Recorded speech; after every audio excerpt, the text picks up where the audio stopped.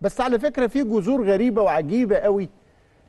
ان عمر بيك لطفي مؤسس النادي الأهلي من أصول مغربية. صاحب فكرة نشأة النادي الأهلي من أصول مغربية. والوداد اسمه؟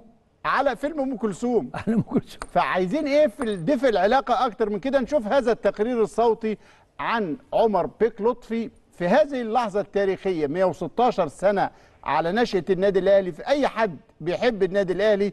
مبسوط من النادي الأهلي؟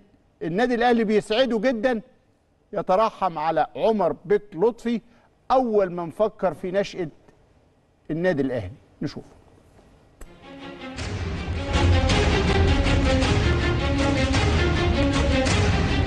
حلق علي بحرية. يا نسر نادي الوطني كذا تهتف جماهير الأهلي باسم ناديها العظيم الذي كانت بدايته مجرد فكرة جاء بها عمر لطفي بيك رئيس نادي طلبة المدارس العليا. وهو عبارة عن ناد وطني تم تأسيسه عام 1905 بغرض توحيد المثقفين من شباب مصر المقاوم للاحتلال البريطاني.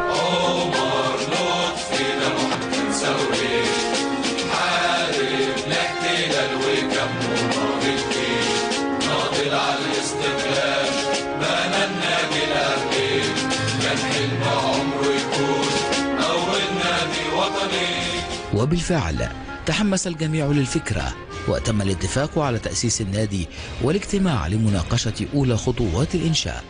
وبعدها تنازل عمر لطفي بيك عن شرف المنصب التاريخي لرئيس النادي الأهلي الأول لصالح الإنجليزي ميتشل أنس الذي كان مستشارا بوزارة المالية آنذاك وذلك لتيسير عملية الدعم المالي للنادي.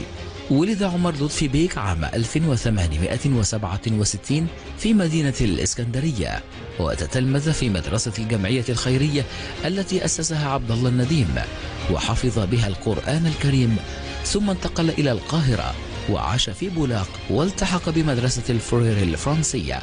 ثم التحق عمر بيك بمدرسة الحقوق وتخرج فيها عام 1886 وعمل في قلم قضايا الحكومة ثم في مكتب سعد زغلول للمحاماة ثم قاضيا بمحكمة قنا وفضل الاستمرار في مجال التعليم إلى أن أصبح وكيلا لمدرسة الحقوق وعمره 38 عاما.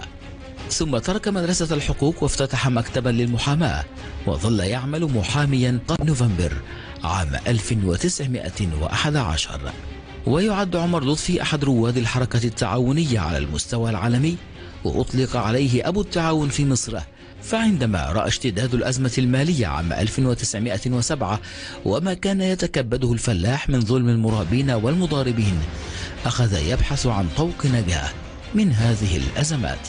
وبعد دراسته في إيطاليا عام 1908 للتعاون الزراعي رأى أن تقتدي الحكومة المصرية بما فعلته ألمانيا وإيطاليا بإنشاء نقابات زراعية في كل بلدة تساعد الفلاحين بدلا من المرابين والمضاربين.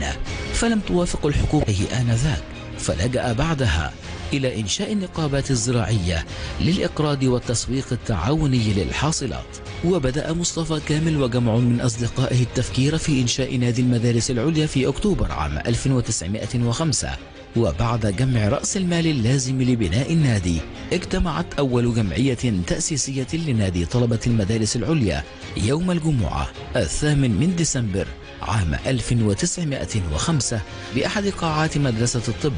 لانتخاب مجلس إدارة النادي والتي أسفرت عملية الانتخاب عن اختيار عمر لطفي بيك رئيسا للنادي الأهلي عدد أعضاؤه خلال ثلاث سنوات قبل أن يصبح نادي الطلبة والعقل الوطني الذي تجمع حوله أبطال الحركة الوطنية.